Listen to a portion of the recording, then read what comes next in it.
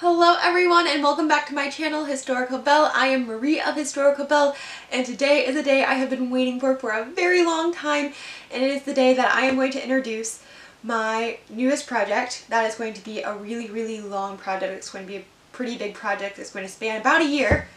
Oh, and this is Lucky in case you have not met her. She is the sewing assistant for this channel and truly the star of this whole show. Today I'm introducing to you the Molly Project. If you are a wonderful watcher of this channel, you will know that in my recap of 2022 and talking about my plans for 2023 video that I did indeed mention this Molly project. I have been planning this. I have been planning this for about a year as well and now it's finally coming true.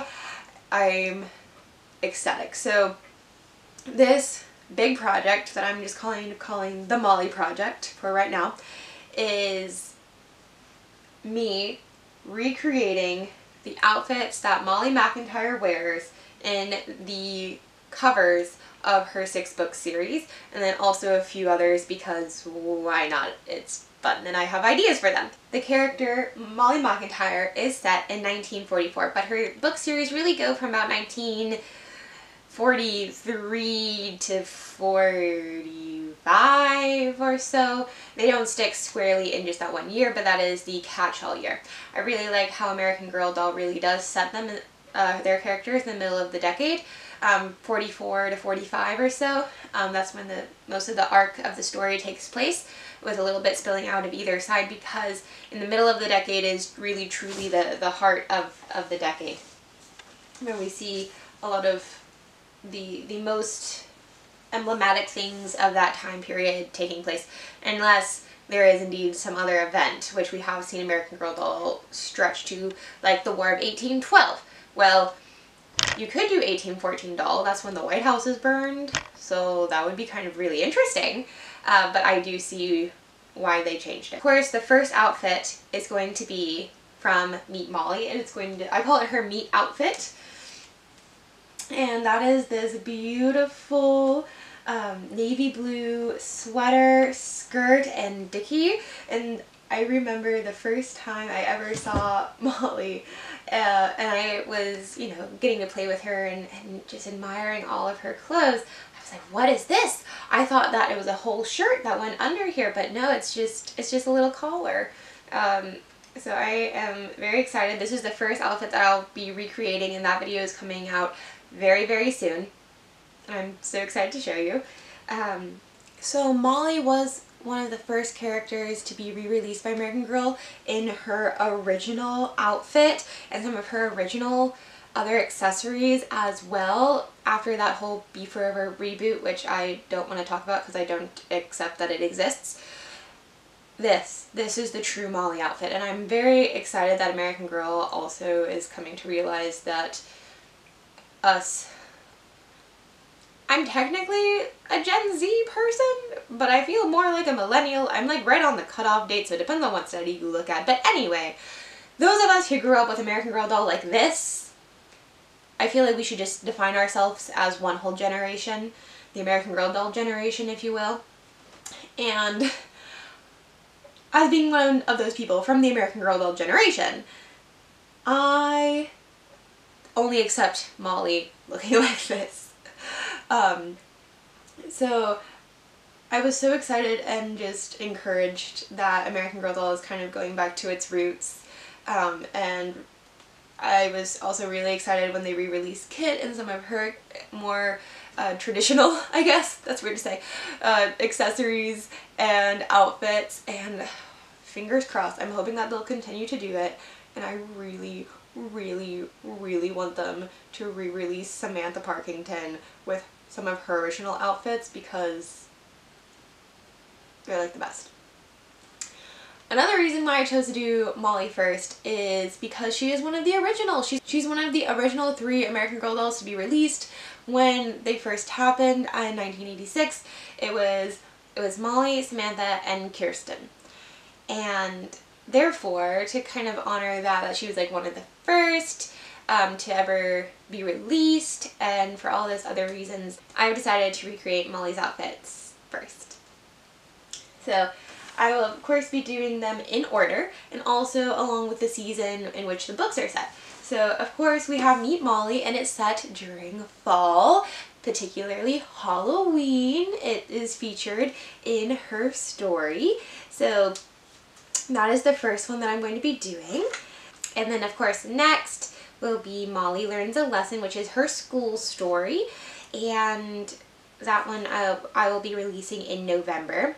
In Molly Learns a Lesson, Molly and her friends plan a secret project to help the war effort and learn about allies and cooperation. In their Learns a Lesson story, in The American Girl Learns a Lesson story, I think that one really focuses a lot on the world around them in the historical time setting that they are in. And I think it's a wonderful way just to teach history. Next we have Molly Surprise, which takes place during Christmas. Molly makes plans for a Christmas surprise, but she ends up being surprised herself. Now there will be a little bit of a hiatus between Molly Surprised and Happy Birthday Molly. Molly's birthday is on, oh wait, I have to check the binder. It's in April. Almost all American Girl dolls are born during the spring or summertime, so let's check. This is one of the American Girl doll collection. It has their binder and it has like profile pages on them. I got this I think when American Girl doll also had like a collaboration with Hallmark. Um, and I love it. But you can also see how old it is because it only has one, two, three, four, five, six, seven, eight, eight American Girl dolls. Alright, but Molly. Molly's birthday is April 22nd. See, I was going to say 21st, and because that's also my mom's birthday, but no, that is also Felicity's birthday, and I always get that confused. I was like, it's 21st. I know it's April, it's late April, but it's the 22nd, 1934. So, uh, that one will, Happy Birthday Molly video will come out very close to Molly's birthday. Then we have Molly Saves the Day, her summer story. Molly Saves the Day is the summer story. Molly is at summer camp and has to pretend to be her friend's enemy and also face her own fears. Next we have changes for Molly and that jumps all the way to the winter. So there will be another hiatus between Molly Saves the Day and changes for Molly. In changes for Molly, her dad will return from war any day. But will he arrive in time to see the grown-up Molly perform as Miss Victory? So as I said, I will be recreating these six outfits and a couple more. I'm also going to be recreating Molly's pajamas because I feel like that is part of the classic lineup is that they have their pajamas and their whole bedroom setup which is just so adorable and I also am going to be working on a Miss Victory outfit which I'm very excited about. I just found this perfect pattern for it and I, I think it's going to be amazing. All of the outfits, I'm not going to be creating them to be perfect recreations of the doll's outfits. I like to have a little bit of creative freedom and also I'm not a nine-year-old girl or a 10-year-old girl even. So it might be a little weird for me to wear more childish style outfits because I want them to also be a part of my everyday wardrobe. While I love having a little bit of kiddishness and fun to my outfits, some of them I just think, well, I could just make like the grown-up version of that. Something um, that I could wear grown up. Of course, this outfit, I love it. I think I could wear it. Um, there's nothing that screams like small child to me in this. Some of the ways I'll probably be styling like my hair or things like that might be a little bit different, but we'll see. We'll see. I'm, I still have to like create everything and figure it out. If you're interested in having me recreate any other Molly outfits, please let me know down in the comments. Um, if there's any other ones that you just really, really want to see. I know that she, she has a lot of other outfits, a lot of them that go with her short stories or other stories like the Molly Route 66 adventure, which is so fun. She has her Route 66 dress. Um, but let me know. Uh, I'll I'll see and we'll, we'll kind of take a poll and see if there's like a, a clear winner of another one that I should recreate and then I can add it to the list if there is indeed that like clear standout of like everyone wants to see this. Alright and also please let me know what doll you would like to see next. I'm kind of thinking about Samantha but after that I don't really have a clear idea which doll I want to try to recreate. And like I said, this is also going to be almost a year long project to recreate all of these with some hiatuses and gaps because I want the outfits and stories to come out close to when they would have been set because me making a save the Day outfit in the middle of winter, I'm not going to be able to go outside and enjoy it. um, so that way I'm, I'm trying to spread them out seasonally and also not like overwork myself because self-care is important. Care about yourself. Make sure you are not like burning yourself out, especially with a hobby that you enjoy. Um, but yeah, so I just wanted to give you a little bit of insight into what I have planned for the next year for the Molly project and just get excited with me. Um, I I am very, very excited about this project. American Girl dolls have meant so much to me and I think I'm going to have to do a whole nother video about why I think American Girl dolls are so important and have played such an influential role in my life and have truly led me to where I am today with my career and with my hobbies. Uh, they have played such an incredible role and I, I truly love American Girl. Um, they, they have taught history in such an interesting way and they continue to do it and make it more inclusive and, just telling more stories from different perspectives that I think is of course necessary and just so so good. Uh, I have not really had a chance to read a lot of the newer stories um, for the newer girls. Basically after the beef, I kind of lost interest when I was a middle schooler and I thought I was like too cool for American Girl. Like society really pushes girls of that age to stop pushing with dolls and they kind of think you're weird if you continue to play with dolls. And I kind of felt that pressure and I would never get rid of my American Girl dolls, obviously, but I did kind of put them aside for a little while. Also American Girl doll, I feel like they were going through a little bit of an identity crisis once they got bought out by Mattel and they did this whole BeForever reboot, which seems to be like they didn't care as much about the history and they cared more about like pink frilly dresses so that made me angry and not as interested.